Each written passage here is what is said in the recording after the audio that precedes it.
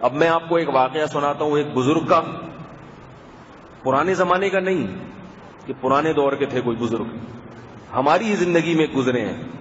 آخری وقت میں بگڑ گئے تھے۔ علماء نے ان کے کافر تک ہونے کا فتوا دیا۔ اسلام سے خارج ہے یہ آدمی۔ حاجی عثمان کا نام سنا ہوگا آپ نے۔ تبلیغی جماعت میں ایک بہت بڑے بزرگ گزرے، حاجی عثمان۔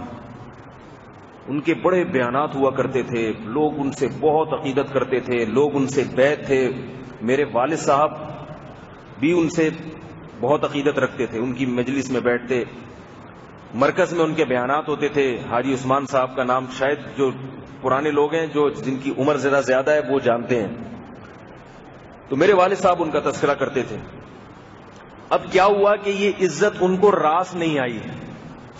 بعض لوگوں کو عزت ملتی ہے تو وہ اللہ کے سامنے گر جاتے ہیں کہ اللہ میں اس قابل نہیں، تو نے دے دی عزت۔ اور بعضوں کو عزت راس نہیں آتی، شیطان ان کو بہکاوے میں لے آتا ہے۔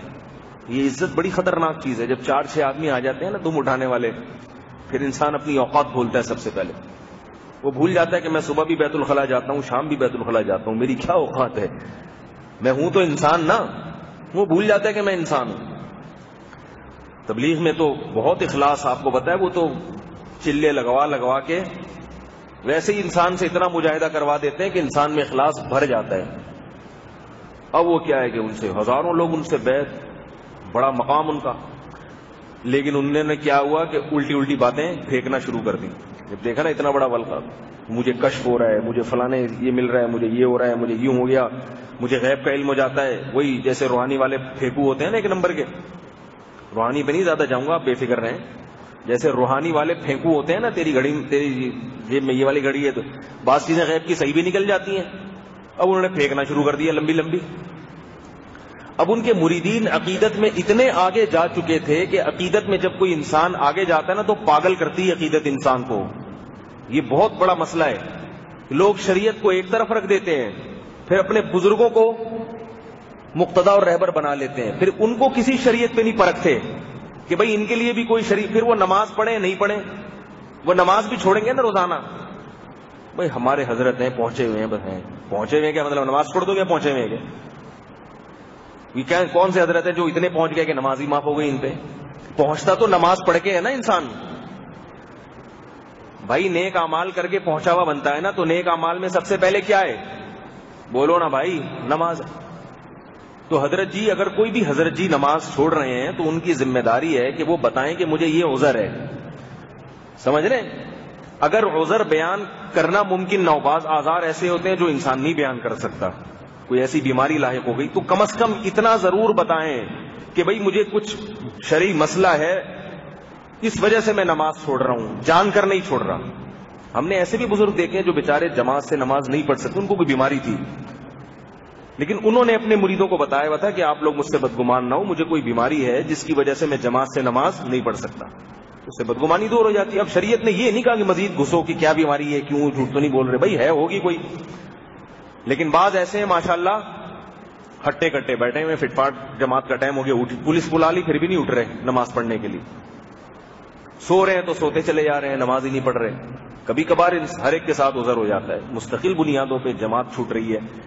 لیکن جب آپ کے دل میں عقیدت پیدا ہو گئی ان کی، آپ خود جا رہے ہو گے نماز پڑھنے کے لیے۔ آپ کے پیر صاحب نہیں جا رہے تو آپ ان کو کچھ بھی نہیں بولو گے، یہ پہنچے ہوئے ہیں ان کے لیے نہیں۔ یہ اندھی عقیدت ہم نے دیکھی ہے لوگوں میں۔ کیوں نہیں جا رہا بھائی؟ وہ کیوں نہیں جا رہا؟ جتنے مسلمان آپ وہ بھی تو ایسا ہی ہے نا۔ نہیں جا رہے بس۔ پھر گھر میں پڑھ رہے ہیں، مستقل بعض لوگ نماز گھر میں پڑھ رہے ہیں۔ تو یہ مسجدیں ہندوؤں کے لیے بنی ہے عیسائیوں کے لیے بنی ہے مسلمانوں کے نماز پڑھنے کے لیے بنی ہے تو حضرت جی مسجد میں نہیں جا رہے، وہیں جماعت کرا رہے ہیں۔ میں نے بتایا، کبھی کبھار جائز ہے ایسا، کبھی کبھار کوئی مجمع زیادہ ہو یا تھکاوٹ ہو کسی کو سفر سے، تو وہ مجبوری میں کبھی کبھار جماعت گھر پہ کرا سکتا ہے، کبھی کبھار ہوتی لیکن ایسے آرام سے جماعت کی نمازیں چھوڑنا اور یہ اس طرح سے کرنا خلافتیں دی تو اپنے خلیفہ نے ان کے دعویٰ کیا کہ میں امام مہدی ہوں۔ میں کیا ہوں؟ امام مہدی مجھے الہام ہو رہا ہے، مجھے خواب آ رہے ہیں۔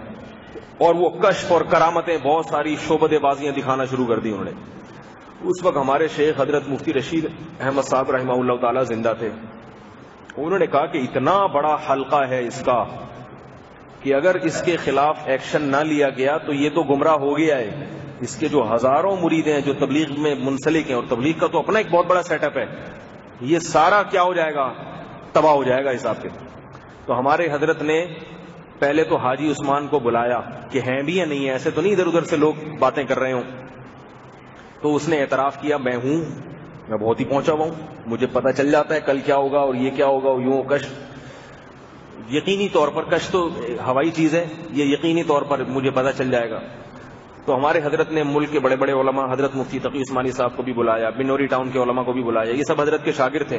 ان سب کو بلا کے حاجی صاحب اور اس کے مریدوں کا بیان لکھوایا کہ بھئی یہ اس نے سب کے سامنے اعتراف کیا ہے۔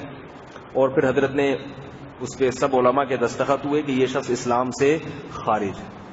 کیونکہ علم غیب کے دعوے کر رہا ہے اور یہ ساری چیزیں دعوے کر رہا ہے، یہ تو اللہ کے سوا کسی کو علم غیب نہیں ہوتا۔ امام مہدی بنے ہوئے ہیں اس کے خلیفے، امام مہدی نہیں ہے ابھی، امام مہدی کے آنے میں ذرا ٹائم ہے۔ ٹھیک نا؟ یہ نہیں ہے۔ تو بالآخر وہ اس کے، اس کو کیا ہوا تھا؟ کشف اور کرامتیں اور نسبتیں، یہ ہوائی چیزیں جو ہے نا، ان سے وہ بہت زیادہ ان کو مریدوں کو خواب بھی آنا شروع ہو گئے تھے۔ کبھی نبی کی زیارت ہو رہی ہے خواب میں، کبھی۔ بھائی شریعت کو پہلے دیکھیں گے، جو قرآن و سنت نے کہا خوابوں کا درجہ قرآن و سنت کے بعد ہے۔ خیر، ان تمام علماء نے فتوا دیا کہ یہ آدمی گمراہ ہے، یہ آدمی گمراہ ہے۔ اس سے بیت جائز نہیں ہے اور جن لوگوں نے بیت کر لی ہے ان پر لازم ہے کہ بیت توڑے جب سب علماء نے متفق ہو کے فتوا دیا تو تبلیغ والوں نے بھی اس کو نکال دیا باہر۔ کتنا اللہ اس سے کام لے رہے تھے، مگر این آخری وقت میں ٹریک سے اتر گیا۔ اگر وہ اسی پہ چلتا رہتا سیدھا سیدھا، جیسے تبلیغ والوں کا ایک طریقہ ہے کہ بھائی بیان کرو اور شخصیت پرستی تو تبلیغی جماعت میں ہے ہی نہیں۔ لیکن اس نے شخصیت پرستی پھیلانا شروع کر دی کہ میں ہوں، مجھے خواب آ رہے ہیں۔ پھر اس کے جو بزرگ تھے جنہوں نے اس کو خلافت دی تھی، حاجی عثمان کے جو شیخ تھے، انہوں نے حاجی عثمان سے خلافت لے لی کہ بھئی میں اس پہ اعتماد نہیں کرتا۔ لیکن اس نے بیان کیا کہ اب مجھے اپنے شیخ کی خلافت کی ضرورت نہیں۔ میں ایسے مقام تک پہنچ چکا ہوں کہ مجھے کسی کی خلافت کی، جیسے آپ کو پتا ہے نا، یہ نور زمان صاحب جو ہیں، یہ بھی کہتے ہیں مجھے کسی کی خلافت کی ضرورت نہیں۔ ان سے پوچھو نا آپ کے کس بزرگ نے دی ہے۔ تو کہہ رہے ہیں، میں خواب میں مجھے الہام ہوا تھا، وہ خواب میں سو رہا تھا تو وہ کاف میم کے کوئی بزرگ تھے۔ کاف میم ہوتا ہے قبل مسیح۔ انہوں نے دیے۔ تو یہ ہوائی چیزیں ہوتی ہیں، کوئی کوئی کسی سے پوچھ ہی نہیں سکتے کہ کون ہے بھائی، کیا ہے یہ؟ میں یہ کر رہا ہوں کہ اس کے مرید سارے بہک گئے، سب علماء کے خلاف۔ یہ نہیں کہ علماء کو مانے اور اس کو چھوڑ دیں۔ بھائی، ایک انسان کو چھوڑ دو، شریعت کو فالو کرو، لیکن انسان کو چھوڑنے کے لیے تیار نہیں۔ یہ عقیدت میں کیا ہے؟ غلو۔ یہ کیا ہے عقیدت میں؟ غلو۔ کہ اس انسان کو قرآن و سنت پہ نہیں رکھا جا رہا۔ بلکہ قرآن و سنت کو اس انسان پہ رکھا جا رہا ہے۔ وہ جو کہہ رہے ہیں قرآن کو اس کے حساب سے درست کیا جا رہا ہے۔ تو یہ جائز نہیں ہے قیامت کے دن سوال ہوگا کہ ایسی اندھی عقیدت تم نے کیوں کی؟ ایسی جو نہ نماز پڑھ رہا ہے، نہ جناب وہ وہ علم غیب کے دعوے کر رہا ہے، الٹی سیدھی باتیں کر رہا ہے، بس آپ پھر بھی میرے شیخ ہیں، میرے شیخ۔ چھوڑو ایسے شیخ کو۔ ابا کو تو پھر بھی نہیں چھوڑا جا سکتا۔ مجھے ابا جو، میں بھی اللہ نے خونی رشتہ بنا دیا ہے۔ ابا تو کافر بھی ہونا تو شریعت کہتی ہے ان کے ساتھ اچھا سلوک کرو۔ لیکن شیخ تو آپ کا سلیکٹڈ ہے، آپ نے خود اس کو بزرگ مان کے بیت ہوئے۔ تو جب آپ کو اطمینان ختم ہو گیا، بزرگ نہیں ہے، بیت ختم کر دو بھائی۔ پہلے اطمینان تھا، اب نہیں ہے۔ لیکن لوگ نہیں کرتے۔ ابا کو چھوڑ دیں گے، پیر صاحب کو چھوڑنے کے لیے تیار نہیں ہوتے۔ یہ بڑی گمراہی ہے۔ تو پھر وہ اس کے مریدوں کو بھی بڑا بیچاروں کا برا انجام ہوا، اس کا بھی برا انجام ہوا۔ ایسا علماء بھی اس کے خلاف اور بہت سارے مرید پھر کٹ بھی گئے تھے اس سے۔ تو یہ کیا ہے؟ جنت کے قریب ہوتے ہوتے ایک بالش رہ گئے اور کیا فیصلہ ہو گیا؟ جہنم۔ کتنی بری موت ہے، اللہ بچائے۔ اسی طرح چلتے رہتے تو آج بھی لوگ ان کا احترام سے نام لیتے۔ اور ایک قصہ میں نے دیکھا کہ جہنم